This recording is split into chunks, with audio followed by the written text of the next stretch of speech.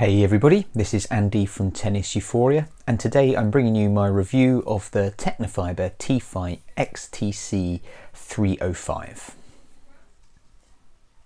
So first of all, a disclaimer or a warning, I have no connection with any racket manufacturers, uh, but this Tecnifibre XTC 305 is my racket of choice, so this review is going to be a little bit biased. Um, I love it and it's probably going to feel like a bit more of a number of reasons as to why I like it and think it's so good.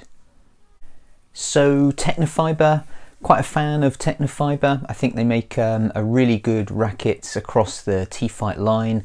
Uh, the 300 version, which I'm not reviewing today, I actually think it's a really good racket for maybe your advancing juniors, sort of older end teenagers.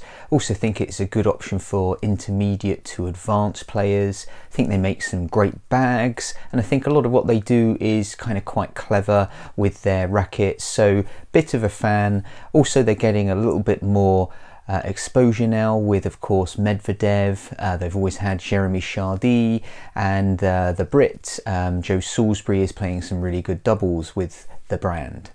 So this line of the T-Fights has XTC, Extreme Touch Construction, uh, designed to give good stability and feel. Certainly I think that is two characteristics of the racket. And if we have a look at the sort of readily available claimed stock specs, you have a 98 square inch head, 33.4 balance point, 65 RA stiffness rating with a pretty healthy 329 swing weight. Uh, the interesting bit is that string pattern of 18 by 19. So how does it play and why do I love it so much? Well, kind of court time and review shortly. First of all, wanted to raise a couple of pretty neat features with you. First of all, check out this armour cap. Hope you can see that. Now Tecnifibre claim that that gives an extra 40% of protection to the racket and, and I'd agree, this is the one I use the most and uh, it takes quite a lot of damage and all of the frame has been really protected. But the big thing for me is that that gives you this extra kind of sense of security on court. So if you're diving for a ball, it never crosses your mind that you might damage your racket. A lot of people will probably care about that. So I think it makes a fundamental difference. It reduces that likelihood that you might hold back worried about your racket. Second of all, the grips. So this has an over grip. Um, it's black underneath, but it's a really unique grip. It is quite spongy but the sponge sort of effect seems to last for a few millimeters and then you do get a really good grip on the handle. And I feel that that leads to great feel but also that little bit of kind of foaminess within it really gives me a little bit of extra skin comfort. And as someone who hits with a lot of rackets, hits a lot of balls all week, and also works in fitness, my hands are under great pressure all the time, moving weights around for people, lifting weights all the time. And I find that a lot of tennis rackets will often then cause my skin on my hand to have problems. Not the case with this. Third of all, don't know whether you can see this, but I'll try and show you some of the grommets. Again, just really clever, kind of thought about. Those grommets have been put in place to assist stringers in their tie-off process. Now, I'm stringing myself more now as I'm doing more reviews. I used to make the sort of time versus economy decision of getting good stringers that I know to string for me, but I'm doing more stringing myself now, and that I can tell you is a really good feature. It's really helpful, and I can quite imagine that if you are taking your game seriously, you're maybe stringing for yourself, playing competitively, or you're stringing a lot, it could have a big impact on the stringing time coming down. Does it play on court? Well, I guess first point to make is it's really nice for me this last week to go back to my racket. I obviously play with it a lot, it's familiar, so no need for me to take it on the wall for initial thoughts. But my initial baseline hits with it in terms of this review just reminded me why I really like it. I mean, ultimately, you have still quite a maneuverable racket, but you have a racket that is loaded with great plow through with that swing weight, very, very stable and good control. But here for me is the two really clever bits again. So first of all, that string pattern. We have 18 in the mains, 19 in the crosses. Now, what I've been finding, I guess, through this process of reviewing rackets is that I think the crosses can have a big impact on your level of spin. So, hitting with the uh, Wilson Blade 98S, that has that interesting string pattern in the crosses, and I think that's one element why you get this enormous spin. Also, the Wilson Steam S range from years ago also played around with those crosses string numbers. So the fact that this has that 19 string pattern in the crosses, for me, it gives same spin that you would get from a 1619.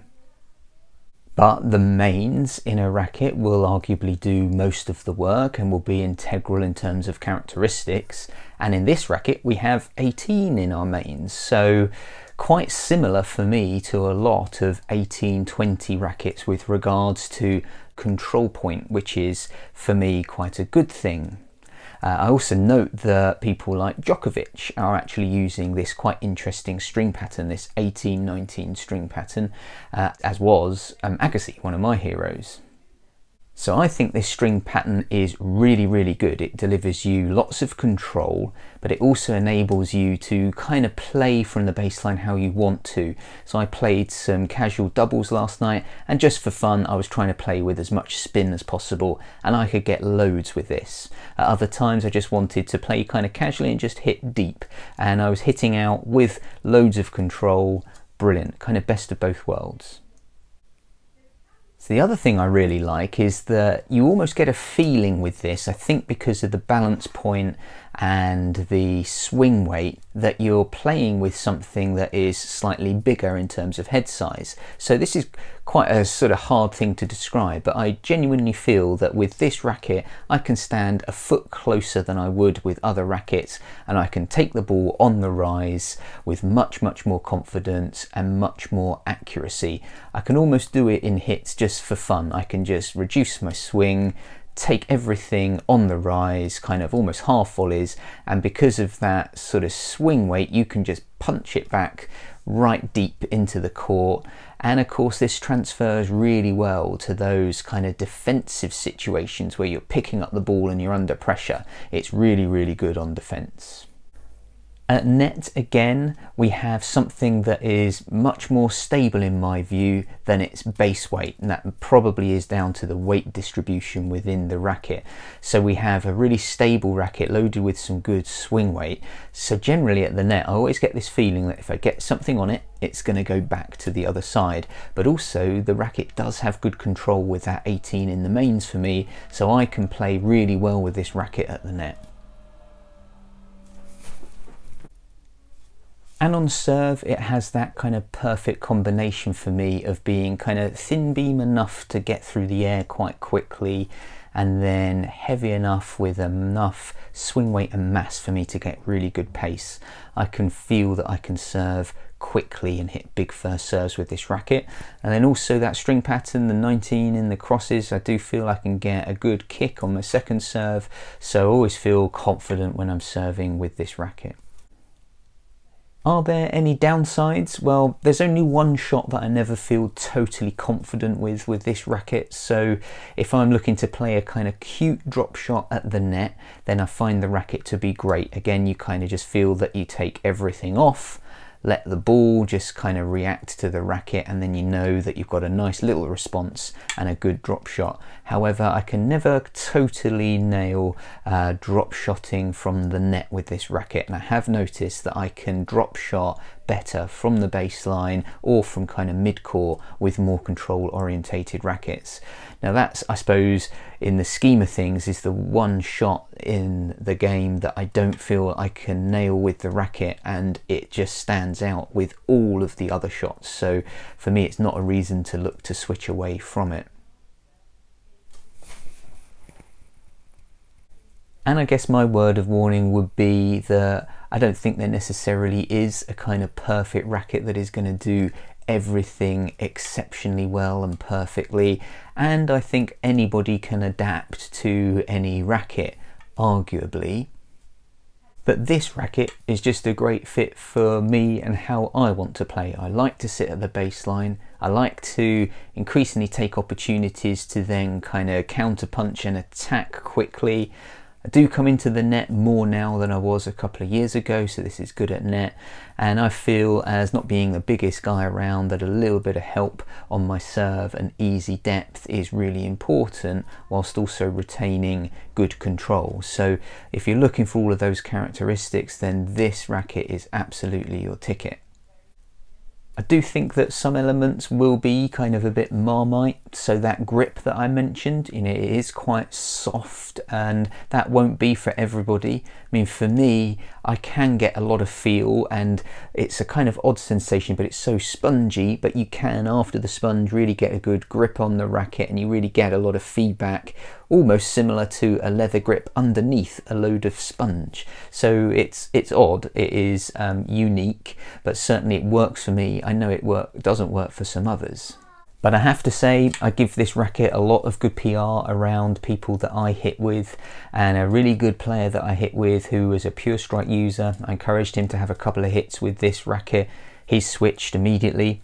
I also uh, have another hitting partner who was playing with the Countervail 98 blade 1619. I encouraged him to have a hit with this and he switched immediately too. And I think that was quite interesting, quite strategic that I asked them to do that. I think that the racket is a kind of more comfortable pure strike, but with a little bit more control. And then I think it's also, in some respects, similar to a blade, but then with a little bit more pop, easy power, and depth. And that's probably the best way that I can summarize it. But I think the sort of genius elements are it's got nice touch, that construction is good, and that string pattern just makes it fantastic. And a final note, I guess, on manufacturer quality. So I've heard some stuff around, um, I guess, quality control not being necessarily great. I think I've probably lucked out. So the specs of my rackets are a bit different to what you would find online. Here's my specs with overgrip, dampener, um, and I have three of the rackets. Now, granted, they've got different strings at the moment in them, and they do have a little bit of different sort of plastic tape around the grip. So there's going to be subtle differences in that overall weight. But I think when you combine these three, it goes to show that if there is quality control issues, then I've lucked out and I've got three that are uh, pretty close. And the other reason that I like these rackets is that I don't need to customize them. Uh, the weight, the swing weight, everything just works really well for me. I think you have a racket that is exceptionally stable with loads of swing weight for its weight in this racket. Hope you enjoyed this review. I'm aware that it was possibly not the most balanced of my videos. I mean, it was more a case of this is why I think it's great. Uh, but nevertheless, I hope it gave you a good insight to a racket that I think is really clever and has a lot to offer.